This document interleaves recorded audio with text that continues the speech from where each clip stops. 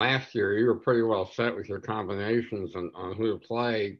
Is it different right now? I mean, just kind of how are you sorting through everything uh, with with some of the guys like Kamani Johnson and Wade coming on late? Yeah, I mean, I think we're still a work in progress. You know, much like we were last year, as far as you know, what offensive sets, who we're going to.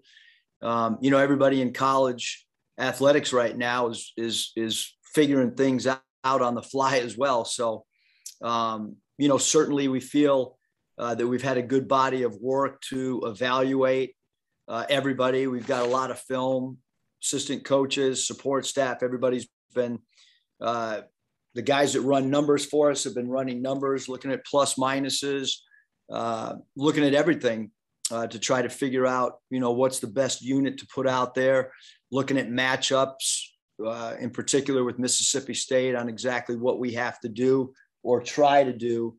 Um, you know, because it's always a game of matchups, whether it's, you know, a, a baseball hitter and a pitcher, whether it's a wide receiver and a defensive back, it's the same thing with us trying to figure out, you know, the strengths of Mississippi State and how we can try to eliminate or take those away to the best of our ability and and uh, and then on the flip side how we can take advantage of a certain matchup as well